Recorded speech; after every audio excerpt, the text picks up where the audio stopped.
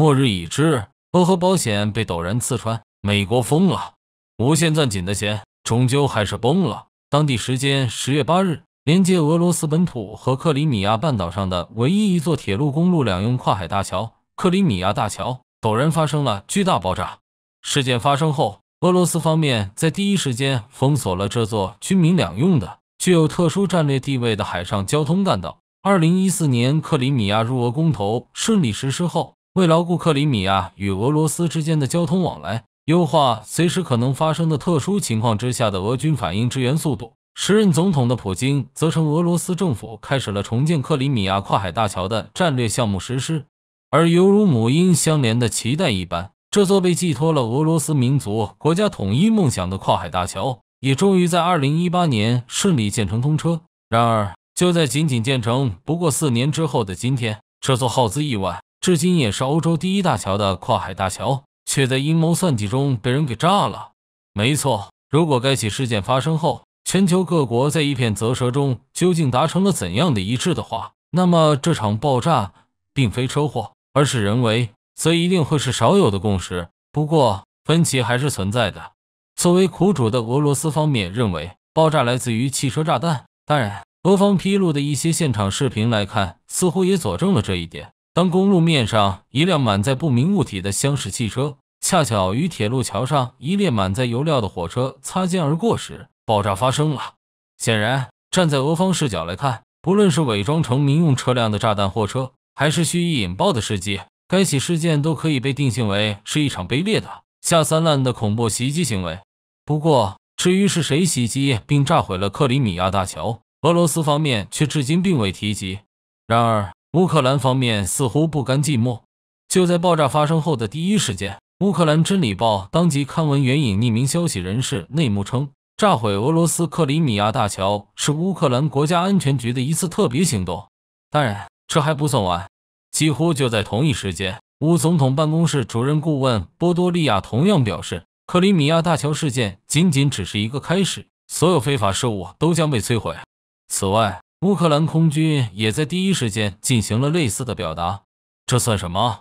在俄罗斯方面都已经大致将其定性为了是一场恐怖袭击，甚至已经派遣了俄罗斯国家反恐委员会介入调查的当下，乌克兰却自己跳了出来，表示这不是恐怖袭击，这是战争行为。当然，克里米亚大桥也确实有着成为战争目标的价值。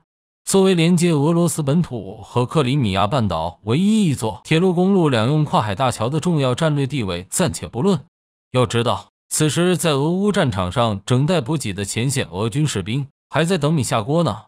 然而，乌克兰炸就炸吧，一脚踹翻了俄军的饭碗不说，还非要扯着一张大嘴的满世界嚷嚷，就是我干的，只是赤裸裸的蔑视了。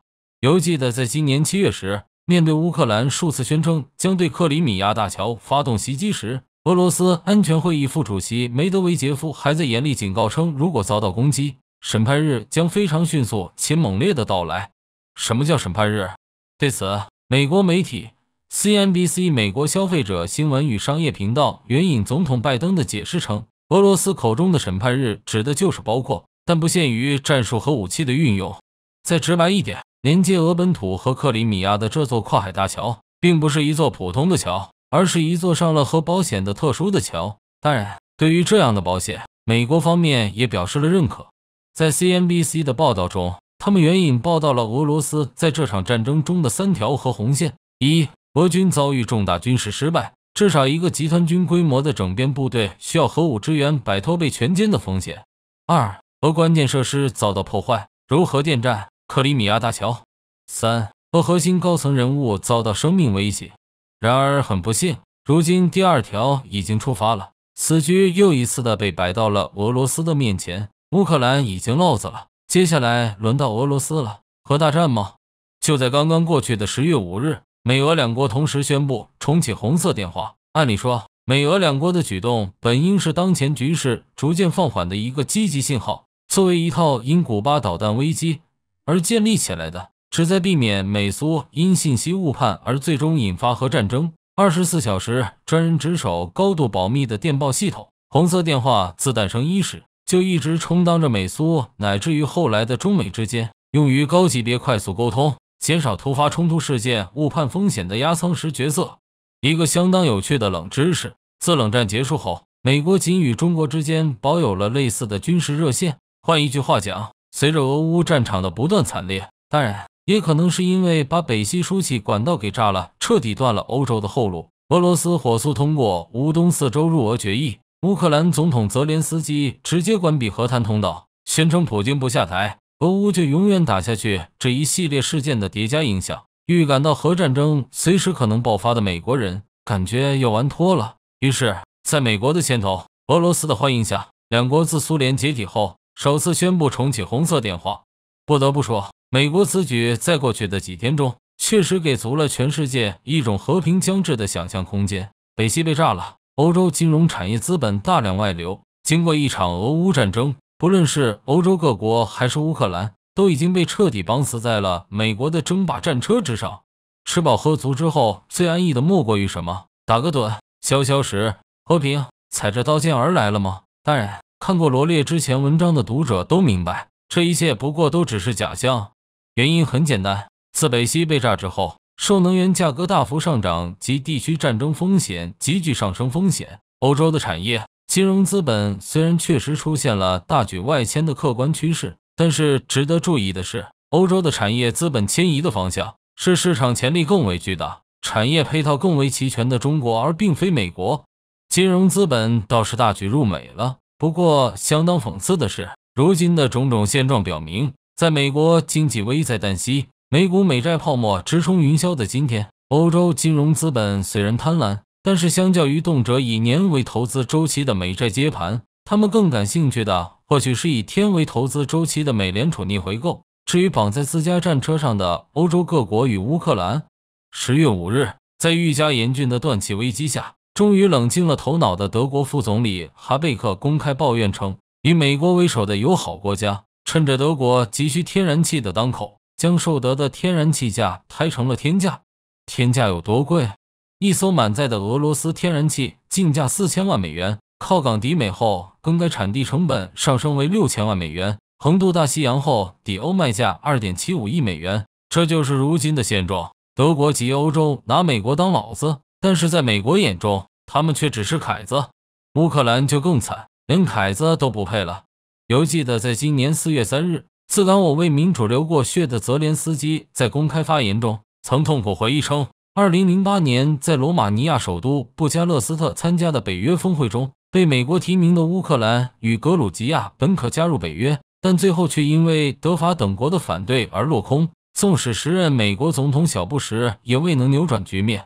关键要素有二：一、美国提名乌克兰与格鲁吉亚加入北约；二、德法反对。换言之，即便到了四月三日，乌克兰还依旧是抱有幻想的，主子万般圣明，奈何身边有小人。然而事实呢？当九月二十七日乌东四州完成公投并正式加入俄罗斯后，为了保住剩余的领土，火线递交文件并申请乌克兰快速加入北约的泽连斯基，等到来的却只有一记响亮：美国明确表示，乌克兰现在不合适加入北约。乌克兰是否已经被彻底抛弃，我们不得而知。但是很显然。乌克兰的当权者们害怕自己被抛弃，以身试合。你敢相信？当克里米亚跨海大桥发生爆炸的那一刻开始，无论俄罗斯接下来是否会采取进一步的激烈行动，乌克兰以身试合的事实都已经无法改变。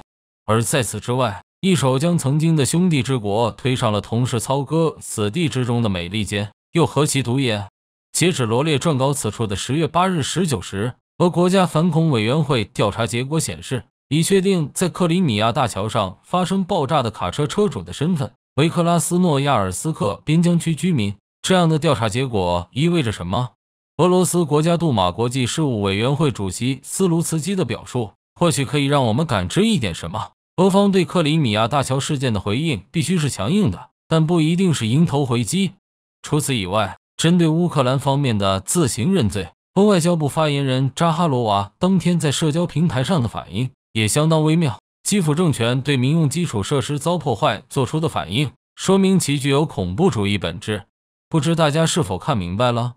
当克里米亚大桥爆炸发生后，俄罗斯方面在第一时间将其性质定义为了恐怖主义袭击，并授权国家反恐委员会介入。当乌克兰方面自行认罪后，俄罗斯外交部发言人却只是谴责了基辅的恐怖主义反应。至于民用设施是谁破坏的，只字不提。当梅德韦杰夫关于克里米亚大桥的核保险被实质触发的那一刻，俄罗斯国家杜马国际事务委员会主席斯卢茨基说的却是不一定是迎头回击。形势已经明了，成功拿到了乌东四州。甚至同意与美建立红色电话的俄罗斯已经无意战争，甚至开始积极朝着和谈方向靠拢。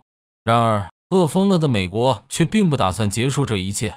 在他们的指使下，一道事关人类文明存续的最后的保险，在美俄红色电话的恢复建立下，被勉强的建立了起来。然后，美国人便迫不及待地推搡着乌克兰，开始了自己的第一次试探——克里米亚跨海大桥。乌东四周在手。和平收益暂时大于战争，俄罗斯忍了。但是退一步，真的就能海阔天空吗？美国人不会就此收手，俄罗斯同样也不可能无底线后退。而这场看似遥远的战争，也越来越不再可能只是被局限于俄乌之间。美国被曝近期开始大量采购放射性疾病药物，退无可退了。